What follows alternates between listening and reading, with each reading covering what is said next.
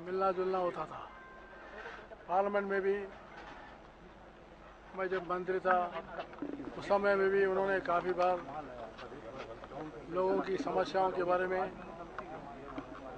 विशेष करके दलितों की समस्या के बारे में और श्रमिक वर्ग के लोगों के लिए, मजदूरों के लिए, उनकी समस्याओं के लिए मेरे पास आते थे।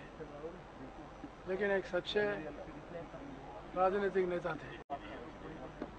मोदी जी की सरकार में जल शक्ति मंत्री और सामाजिक न्याय का मंत्री वो जो है उन्होंने निभाया। और हरियाणा के राजनीति में उनका जो योगदान है, बहुत ही महत्व का विषय है। दलितों के बारे में, किसानों के बारे में, महिलाओं के बारे में भी उन्हें बहुत चिंता करते थे। और कभी भी किसी कार्यक्रम को छूटते नहीं थे। निष्ठावान कार्यकर्ता थे और अच्छे सच्चे देशभक्त भी थे। ऐसे एक महान हमारा जो सांसद हमारा से दो बार जीते हुए उनका निधन पर मैं शोक व्यक्त करता हूँ। और भगवान से मैं प्रार्थना करता हूँ, उनकी आत्मा को शांति दे। और वैसे ही उनके परिवार को भी।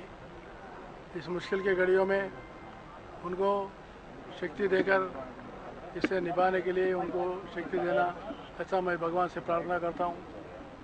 राज्यपाल महोदय उनका एक जो व्यक्तित्व था, एक गरीब परिवार में पैदा हुए, एक साधारण कार्यकर्ता से लेकर केंद्र में मंत्री, हरियाणा सरकार में मंत्री, कई जो पदों पर रहे। तो आप ये मानते हैं कि एक संघर्ष भरा जीवन रतनलाल कटारिया का तो मैंने तो बताया था, वो तो निष्ठावान थे, संघर्ष भी थे, और वो अपोजिशन में रहे, सरकार में रहे। एक ही तरह से जो उन्होंने लोगों का काम किया है। इसलिए उन्होंने बहुत निष्ठावान और सच्चे जो है, राजनीतिक नेता थे। What do you